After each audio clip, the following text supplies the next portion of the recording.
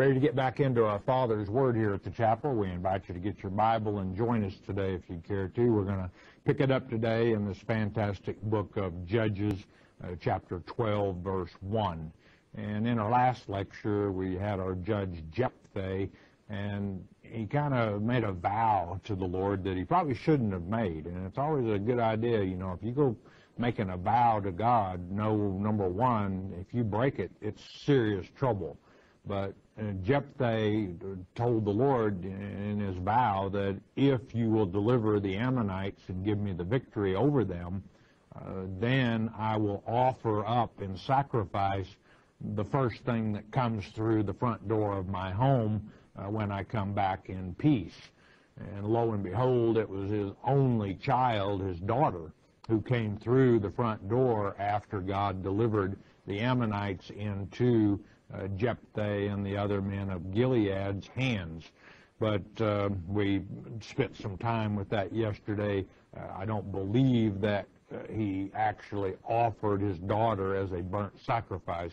Number one, at this particular point in time, uh, that was Israel did not uh, have human sacrifice. Just no way. And what he did was he dedicated his daughter to the service of the Lord at the tabernacle. So having said that, we're going to finish up uh, our judge Jephthah. In fact, we'll cover three more judges of Israel very rapidly, and then we'll come to the last judge whose history is recorded in the book of Judges, and that, of course, is Samson. So uh, with that introduction, let's ask that word of wisdom in Jesus' precious name. Father, we ask you to Open eyes, open ears this day. Judges chapter 12, verse 1, and it reads, And the men of Ephraim gathered themselves together and went northward. This word northward, check it out, is Zaphon, and it's actually a town uh, that was allocated to the tribe of Gad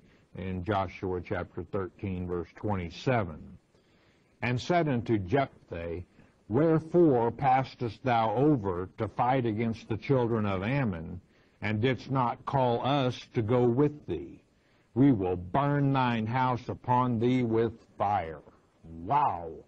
I mean, here, and you remember, this is not the first time if Ephraim, the tribe of Ephraim, has pulled this stunt. You remember back in earlier chapter when Gideon uh, delivered Israel from the hand of the Midianites? Uh, Gideon and his 300 took on 135,000. Of course, God was on their side. But you remember then, the Ephraimites said, why didn't you call us to help you fight against the Midianites? You remember, Gideon, he really used good psychology. He said, what? He said, we didn't do anything compared to what you guys did. Uh, we just put them on the run. You guys uh, killed their princes Oreb and Zeeb. Uh, we didn't do anything compared to what you guys did. I wonder if Jephthah is going to have the same uh, success in using psychology on the Ephraim. But Ephraim later became the largest tribe of Israel. And there was always a power struggle, uh, especially between Ephraim uh, representing the ten tribes of Israel to the north after the nation split, and Judah over who was the best, who was the most powerful, who was the leader, uh, should be the leader. So once again, Ephraim got their nose out of joint uh, because of, of, not being called. But what's really funny is we're going to find out that Jephthah and the people of Gilead did call, they didn't respond verse 2. And Jephthah said unto them, I and my people were at great strife. We were oppressed uh, by the people of Ammon uh, for that period of 18 years with the children of Ammon. And when I called you, you delivered me not out of their hands. We called, but you didn't come and now you're coming here to, to burn my house down upon me? What's wrong with you guys? Verse 3.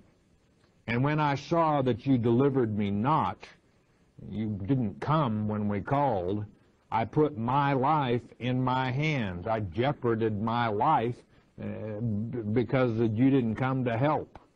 And passed over, and this means passed over Jordan uh, to the east, against the children of Ammon. And the Lord delivered them into my hand. Wherefore then are ye come up unto me this day to fight against me? Question mark. We called you to come and help fight against the enemy, what should have been a common enemy, the Ammonites, and you didn't come. Now you've come across the Jordan. Did you come across to fight against me, your brother of the same of the same nation of Israel? Verse 4. Then Jephthah gathered together all the men of Gilead and fought with Ephraim. God doesn't like uh, civil war. He doesn't like brother fighting against brother. And the men of Gilead smote Ephraim because they said, Ye Gileadites are fugitives of Ephraim among the Ephraimites and among the Manassites. And this really loses it in the translation. It's really hard to follow what's being said here. Gilead, I'll remind you once more, was the tribes of uh, Gad and Reuben and half Manasseh that took their allotment of the promised land on the east side of Jordan. They're the ones who fought with Jephthah against the Ammonites. Now, what the people of Ephraim are saying, check out this word fugitives, what they're calling them here are strays. In other words, you people uh, of Gilead, the tribes on the east side of, Germ, uh, of the Jordan, are no names, and you have no right, if you will, to claim any part of such a noble people as the tribes of Ephraim and Manasseh. And that's a pretty low blow. And, you know, God doesn't like civil war, but uh, Je- Jephthah was right in what he did uh, in going and fighting against them. He tried to reason with them. He tried to get them to come to their senses. You know, what's wrong with you? We called you to come and help fight. You didn't come. Now you come, and what are you going to do? You're going to fight against us, your own people? Are you going to burn my house down upon my own head?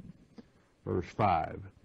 And the Gileadites took the passages. These are the, the fords, which were places that you could cross the Jordan. So the Gileadites got to the fords of Jordan before the Ephraimites. Now you see, Ephraim is on the west side of the Jordan. So they had crossed the Jordan to the east side to give Jephthah and the Gileadites uh, trouble and now they're trying to get it back across the Jordan to their own homeland where they would be safe because they're getting a thumping is what's going on. And it was so that when those Ephraimites, which were escaped, escaped from the battle, in other words, who survived, said, Let me go over, that the men of Gilead said unto him, Art thou an Ephraimite? If he said nay, now what they're doing, you see, they got to the crossing points, and here come these men. It'd be pretty obvious who had just come from battle uh, because they would have their weapons with them, number one. Uh, but they would ask them, Are you of Ephraim? And if they said no, and there's going to be a little test here, verse 6, then said they unto him, Say now Shibboleth, and he said Sibboleth, for he could not frame to pronounce it right. Then they took him and slew him at the passages of Jordan. And there fell at that time of the Ephraimites forty and two thousand. Now you have, if you have a companion Bible, note uh, Bullinger makes a note, and I agree with him. It would be not possible that they killed 42,000 of them what this is, is 2040.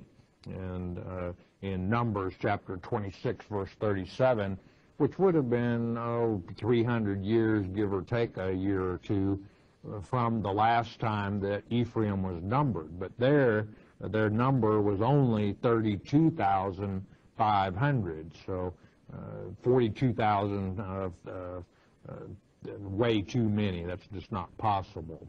Now, what was going on here, uh, by the way, Shibboleth with the, the, the Ephraimites could not pronounce the SH sound. And so they had made them say the word Shibboleth, which in Hebrew means stream or flood, but the Ephraimites couldn't frame their mouth to say it, and they would say Sibboleth rather than Shibboleth. And they immediately knew that they were Ephraimites. And, and that might sound odd to you, but if you've studied uh, foreign languages, you know that there are certain sounds that you just don't have in your native language. Um, some languages have a guttural sound, which is very difficult for someone to master who is not used to making those guttural sounds. And in, even if somebody speaks the same language, if you take someone uh, from New York, for example, and you put them with someone from Tennessee or Kentucky, and they're going to have trouble understanding each other, even though they speak the same language, because of the accents, and it, it causes problems in understanding. So uh, they they knew immediately when the Ephraimites were not able to form their mouth to say the sh sound. Verse seven. And Jephthah judged Israel six years, then died. Jephthah the Gileadite, and was buried in one of the cities of Gilead. I have no doubt he was buried in Mizpeh, uh, which is uh, his was his home, and uh, is quite common for uh, people of Israel to their body, no matter where they were slain, they would take the body home uh, to bury it. And Jephthah, in my opinion, and I'll remind you, the judge of judges means uh, to to rule, surely, but the prime of that word, uh, shofetim in the Hebrew tongue, is shaphat, and it means to set things right and rule. And Jephthah certainly one of the stronger judges. Uh, he didn't put up with anything from the Ephraimites when uh, they tried to come down on him and say, you know, you, you didn't uh, call us to help. He, he laid it down to them and told them just exactly how it was, and he, he didn't back down. So uh, Jephthah, in my opinion, one of the stronger judges, he certainly was able to put things right and rule. And Paul mentioned this judge Jephthah in Hebrews chapter 11 in the New Testament. Most of you familiar that Hebrews chapter 11 is the faith chapter. So uh, Paul knew the history of Jephthah, or he wouldn't have included him in the list of those who had strong faith. And certainly Jephthah, a strong leader and one who certainly loved the Lord and had faith in him. Now, the remaining, what, seven chapters in this verse, we're going to cover real quickly three judges. And if you have a reference Bible, you probably have a reference on all three of them that more than likely they were uh, civil judges uh, and in the northeast of Israel only. So we're not going to spend a great deal of time on them, but let's go with that. Verse 8. And after him, in other words, after Jephthah, Ibzan of Bethlehem judged Israel. Now, this Bethlehem is not uh, Bethlehem, Judah. It's Bethlehem and probably of Zebulun listed in Joshua chapter 19, verse 15. Ibzan, if you translate it rather than transliterate it, means illustrious. Uh, if we don't count uh, Abimelech, you remember him back in chapter 9, our, our type for the Antichrist, for Satan himself, uh, he wasn't lifted up or promoted by God. He was promoted by men. So I don't want to count Abimelech. This would be in that this that case our ninth judge uh, recorded in the book of Judges, verse nine. And he had thirty sons and thirty daughters, whom he sent abroad, and took in thirty daughters from abroad for his sons. And he judged, judged Israel uh, seven years. Now this word abroad uh, can mean foreign, and if that were the case, that he took foreign uh, wives for his sons and sent his own daughters uh, to foreigners to be wives, that would be a strict no-no. That's what got our whole trouble started back in chapter 1 of Judges. Uh, God gave Israel the promised land, but he also gave them instruction in the book of Deuteronomy chapter 7 verses 1 through 5. You wipe them out. You don't allow the Canaanites to remain alive. Because if you do, uh, you'll start giving your daughters to their sons for wife. You'll start taking their daughters to your sons for wife. And before you know it, you'll be worshiping their gods instead of me. It came to pass. Verse 10. Over and over and over it came to pass. Verse 10. Then died Ibzan and was buried at Bethlehem. at Zebulun, Bethlehem, Zebulun, his home. Verse 11. And after him, Elon, which would be our tenth judge in the book of Judges, a Zebulunite judged Israel, and he judged Israel for ten years. Verse 12.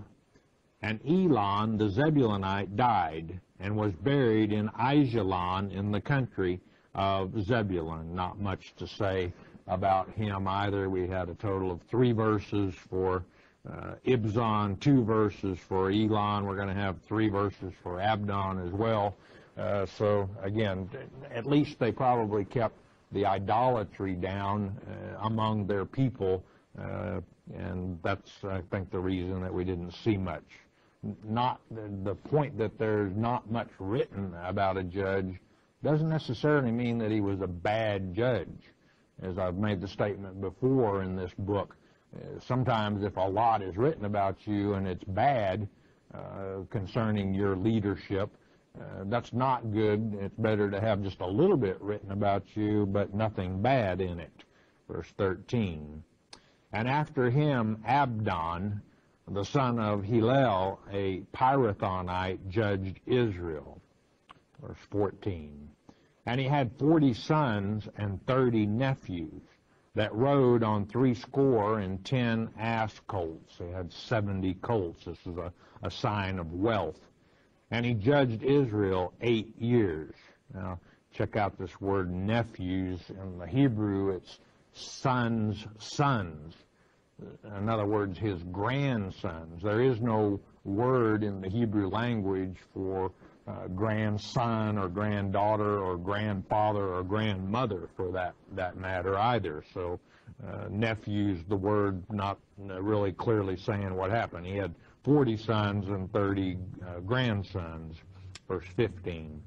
And Abdon, the son of Hillel, the Pirathonite, died and was buried in Pirathon in the land of Ephraim in the mount of the Amalekites.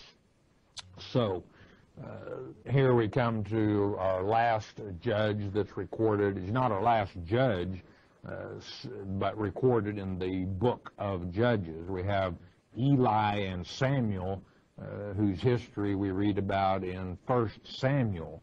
Uh, but uh, we come to Samson. Uh, if we counted Abimelech, that type for Antichrist and Satan, Samson would be our 13th judge.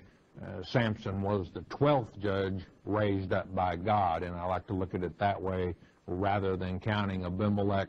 In biblical numerics, number 12 is governmental perfection. Number 13 is disorganization and chaos. So uh, a lot written about Samson, and rightly so. He's probably one of our uh, better known judges uh, as far as what the things that he did uh, also, he's a very colorful character, uh, was Samson. But we're going to be covering the history of Samson in chapters 13 through 16. Uh, and again, that's four chapters. We had eight verses or seven verses dedicated to three judges, so uh, more written on Samson than all three of those put together by a lot.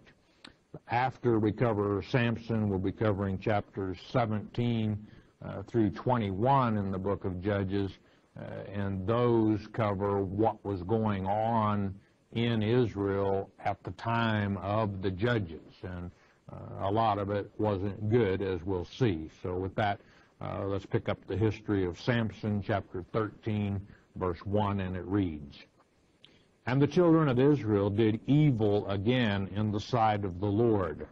This means they did the evil with the article, uh, meaning commit uh, idolatry. And the Lord delivered them into the hand of the Philistines 40 years. Now, this would be the longest period of oppression listed in the book of Judges. Many times it was 18 years, uh, back to that rich biblical numerics in this book, 18 being bondage, 40 being probation. And uh, Bullinger puts this uh, period of time at 1120 uh, BC to 1080 BC. So uh, that takes us all the way down uh, to 80 years from when Saul would become the first man king of Israel, and the judges would be no more. Verse 2. And there was a certain man of Zorah, of the family of the Danites. They were of the tribe of Dan of Israel, whose name was Manoah. Manoah, if you translate it, means rest. And his wife was barren and bare not. And I couldn't help but think about how many times in God's Word, when someone very important was about to be born, was the woman barren, not able to have children. Uh, it goes back all the way to Abraham and Sarah. Remember, Abraham was 99 years old. Sarah was 89 years old uh, when they learned that they were going to have a child and his name would be Isaac, uh, in whose name the entire seed of the nation of Israel uh, would be called. Uh, then you have, after that, uh, Jacob and Rachel. Rachel is written of that she was barren at one point in time. Had she remained barren, uh, we would have been without the tribe of Joseph, which is Ephraim and Manasseh, uh, or the, the tribe of Benjamin. All the way to the New Testament, you can take this. Uh, you remember in Luke chapter 1, the fact that Zechariah uh, was a priest. Uh, he was a, descendant of, of Aaron.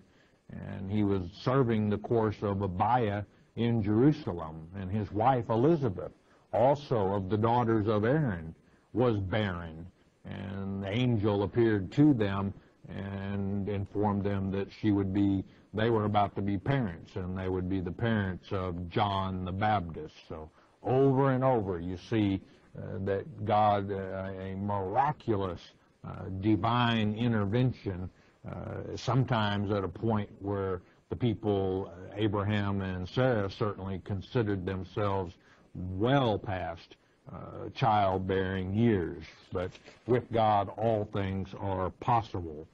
Verse 3.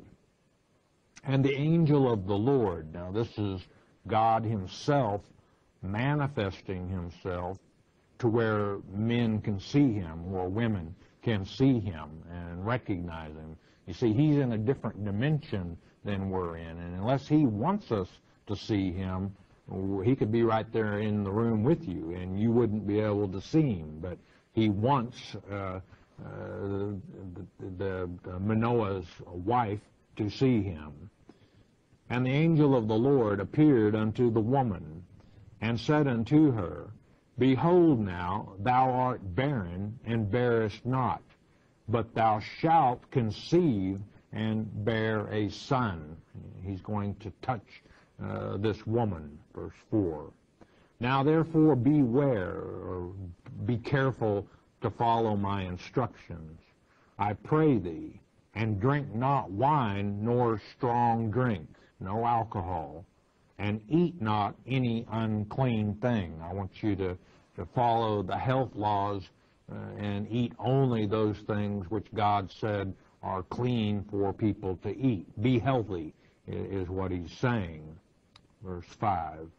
For lo, thou shalt conceive and bear a son, and no razor shall come on his head. For the child shall be a Nazarite unto God from the womb, and he shall begin to deliver Israel out of the hand of the Philistines. And Samson would only begin to deliver Israel from the, the oppression of the Philistines. That uh, work would be completed by Samuel uh, after uh, Samson dies. A couple things about this verse. The vow of a Nazarite, oftentimes, and by the way, the instructions for those who wish to take the vow of a Nazarite are listed in Numbers uh, chapter 6. Uh, most people, it was normal that they would take this vow of a Nazarite for a certain period of time. And, and the vow, while they were under the vow, they weren't to cut their hair. Uh, no razor was to come to their head. They weren't to eat anything of the vine. No, no alcoholic beverages or even eating grapes was prohibited if you were under the vow of a Nazarite. But let's say someone took the vow for 10 years he wouldn't cut his hair, or she, and the women could take the vow of a Nazarite, but at the end of 10 years, the hair was cut off and then offered on the altar of burnt offering to the Lord. And it was uh, a symbol that they had worn uh, the hair in strength and in honor of the Lord, and vitality, if you will. Um, the, the, the, vow of a Nazarite was very strict as you can see. And I think what the message is going to be to Israel, uh, the fact that Samson is going to be a Nazarite for life. And you know, he didn't have any choice in this. He's not even thought of yet, or he's thought of at this point, but he hasn't even been conceived at this point. And he's already under the vow of a Nazarite. But I think the message to Israel is that deliverance from the oppression of the Philistines uh, depends on you straightening up your act and doing things God's way. Uh, a complete surrender uh, to Yahweh, if you will, rather than running around worshiping the gods of all the other heathen nations. Verse 6. Then the woman came and told her husband, saying, a man of God. You see, she doesn't even know or realize it was the Lord. She thinks that it, uh, her perception is that it was probably a prophet, a man of God, came unto me, and his countenance was like the countenance of an angel of God. Very terrible, and this is a terrible translation. This is, should have been translated uh, beautiful or awe-inspiring. But I asked him not whence he was, neither told he me his name. I, I didn't think to ask him where he was from, and you know, now that I'm thinking about it, I didn't even catch his name. But he, this is the angel of the Lord, said unto me, Behold, thou shalt conceive, and bear a son, and now drink no wine, nor drink strong drink, neither eat any unclean thing for the child shall be a Nazarite to God from the womb to the day of his death, committed to that vow uh, for life. Verse 8. Then Manoah entreated the Lord and said, O my Lord, let the man of God which thou didst send come again unto us, and teach us what we shall do unto the child that shall be born.